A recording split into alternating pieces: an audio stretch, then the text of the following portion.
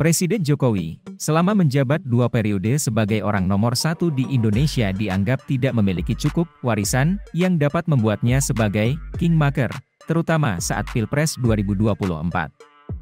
Hal ini diungkap oleh pengamat politik sekaligus akademisi, Rocky Gerung usai Presiden Jokowi memberikan pidatonya di hadapan para relawan Jokowi di Stadion Gelora Bung Karno, GBK, Minggu, 14 Mei 2023. Kalau Pak Jokowi lengser, enggak jelas apa yang boleh mau diwariskan.